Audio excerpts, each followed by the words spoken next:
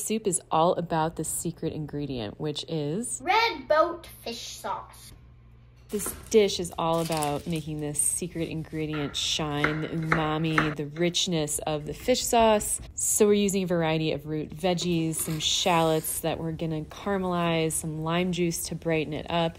Pretty much just put it all in a pot and let it cook, simmer for about 20 to 30 minutes until the flavors meld together. And this is one that will be even better the next day. The secret ingredient is really special because it's rich in omega 3 fatty acids, which have powerful benefits for your heart. It's also high in vitamin B3 and minerals like iron, calcium, really good for your nervous system, lungs, bones.